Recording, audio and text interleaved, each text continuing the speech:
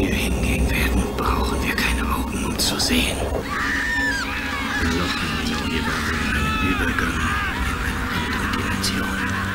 Eine Dimension des absoluten Chaos, der absoluten